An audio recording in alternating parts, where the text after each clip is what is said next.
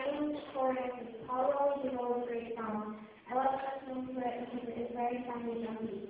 It is a creative song that doesn't have all the grammar that makes the line a. Thank you.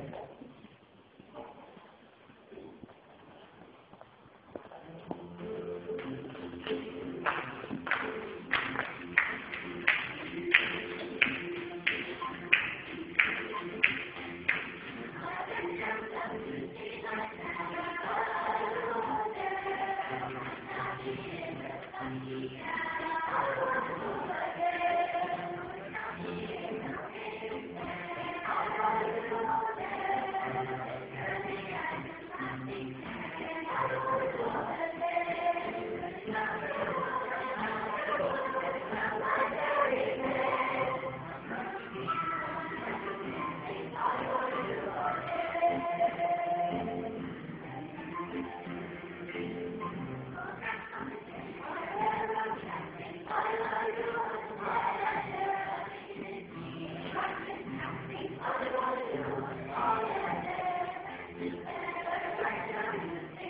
you.